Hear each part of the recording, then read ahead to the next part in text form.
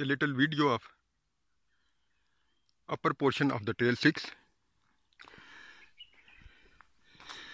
it can be seen that the track which was very wide in the beginning and lower half of trail 6 has now become quite narrower.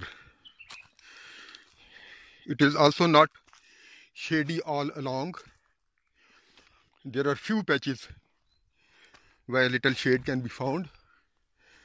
Otherwise the track is bare and sun is throughout visible